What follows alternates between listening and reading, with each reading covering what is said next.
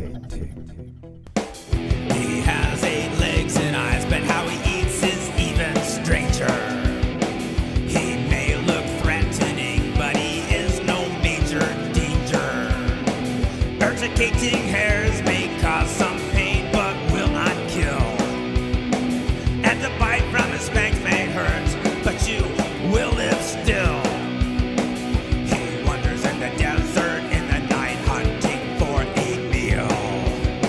looking for something to eat. Tarantula crawling in the desert for meat. Tarantula searching for a lizard so sweet. Tarantula or a little mouse would be a treat. Tarantula mostly he just dines on tasty little bugs, but searching for a scrumptious tasty treat. Tarantula, hopefully he does not want my feet. Tarantula.